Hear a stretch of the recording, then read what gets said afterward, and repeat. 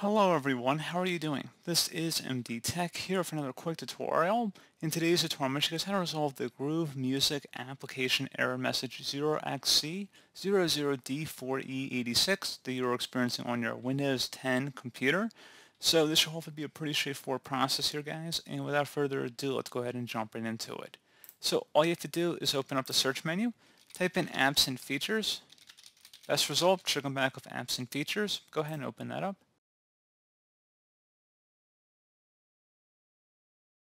In the search this list field, go ahead and type in Groove.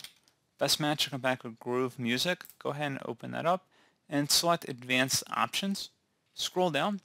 Underneath Reset, if the app isn't working right, reset it. The app data will be deleted. Select the Reset button.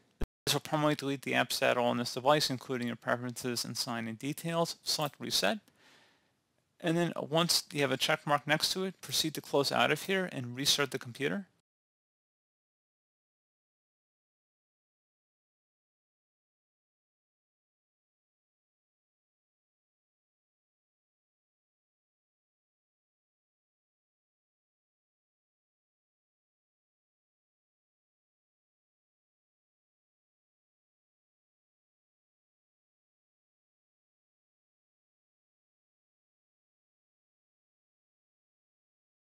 And now you want to open up the search menu and type in settings. Best match, come back with settings. Go ahead and open that up.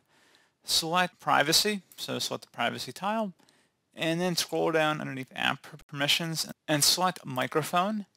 On the right side, make sure allow apps to access your microphones turned on. And then you also want to go ahead and check this list.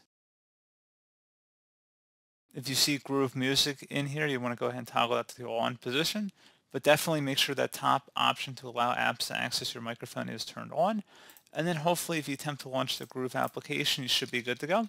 So as always, thank you guys for watching this brief tutorial. Do hope I was able to help you out, and I do look forward to catching you all in the next tutorial. Goodbye.